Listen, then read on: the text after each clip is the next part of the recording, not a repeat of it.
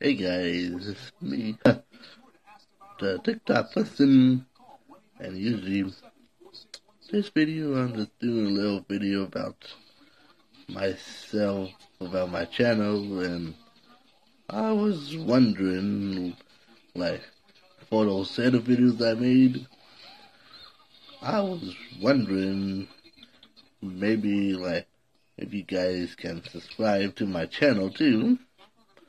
I will have more videos and stuff too. Even for next year too. Trust me, I only got 20 subscribers only. But if you guys can help me, you could help me get more subscribers and stuff. Tell your friends, tell your families, tell everyone that you know.